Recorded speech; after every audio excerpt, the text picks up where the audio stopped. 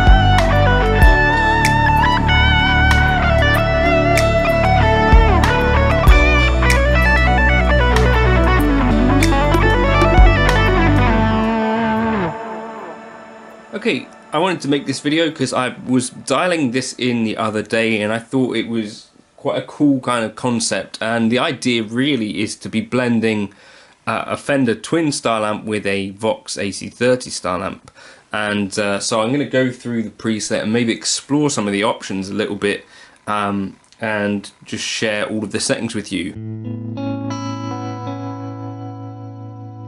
Uh, leave a comment below if you want me to drop this into the folder as well. But um, yeah, if you use the Gumroad link, you can get access to my folder, Google Drive folder, where I have hundreds and hundreds of tones. And uh, yeah, you might find a couple in there that you actually like. So, straight up, we've got nothing going into the deluxe comp compressor. I think this compressor uses the least DSP. Threshold at minus 24.7 dB, ratio 3 to 1, attack 38 release 200 millisecond, mix 56, level plus 8, knee plus 6. Then we're going into a Y split. Um, if you don't know how to do this, press action and move something down to path B. So that's how you create a split.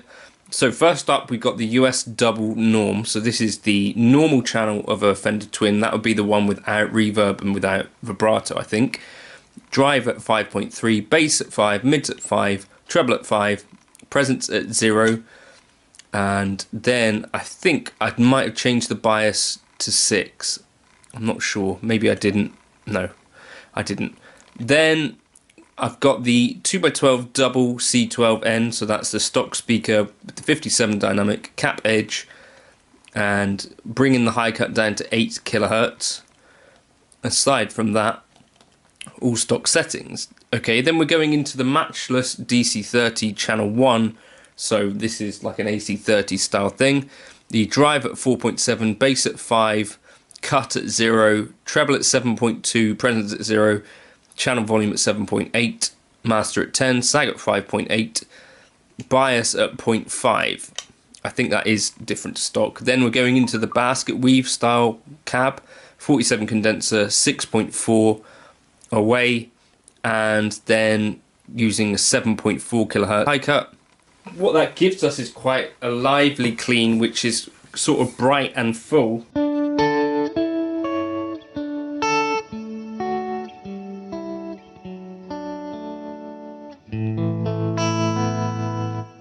Another thing that I've got going on, I've got a tremolo, quite a fast tremolo on the Vox channel. Uh, so 5.1 hertz, 4.7 intensity sine wave, and that's all there. And then I've got a slight bit of panning, so A goes left 15, B goes right 15. And after that, I've got an EQ. You can hear what that's doing here.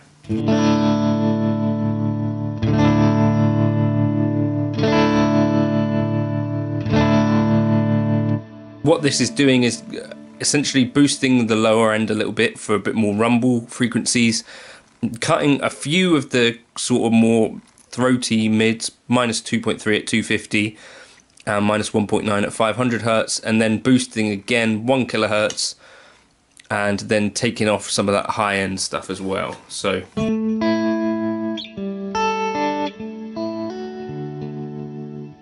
Then we're going into the dynamic plate, an 8.8 second decay, 15.2 kilohertz damping, and mixed 19%. Now we could actually use a less intensive delay. DSP wise, Glitz might be a better option.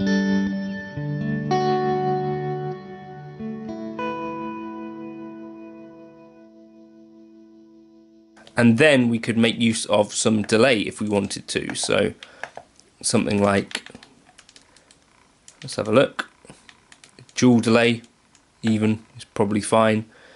Um,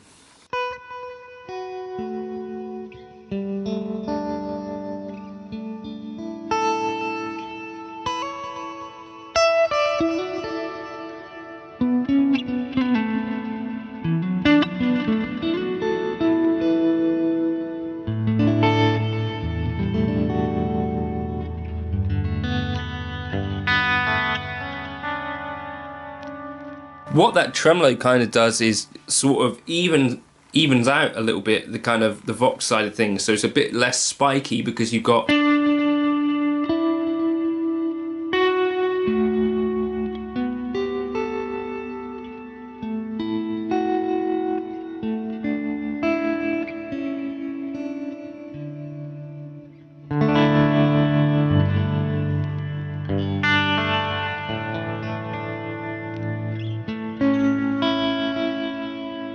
Another thing we could do is get rid of this delay, if we clear that, and maybe even stick a tube screamer, hopefully we can run one of these uh, in front, and then this might even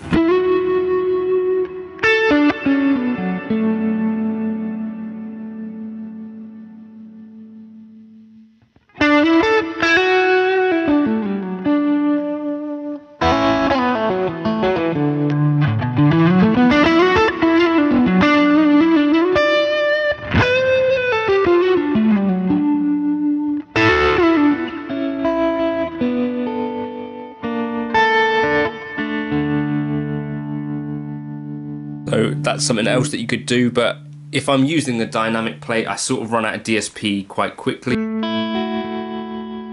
I guess another thing you could do instead of the matchless channel 1, you could also use the Fawn, and this should be relatively similar sounding, um, but have less DSP. Uh, so I was using, what was it, forward 12, this one, and 47 something like this potentially could work as well and we could probably still get a drive pedal.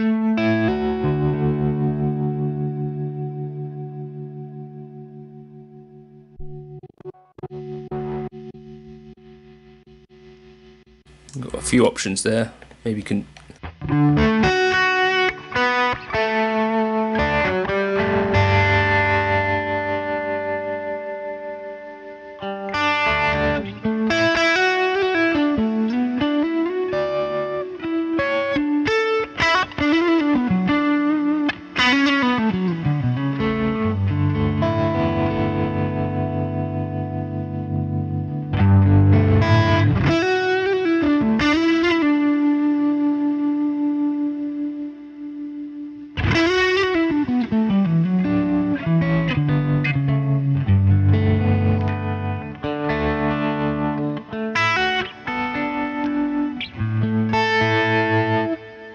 But yeah, give that a try.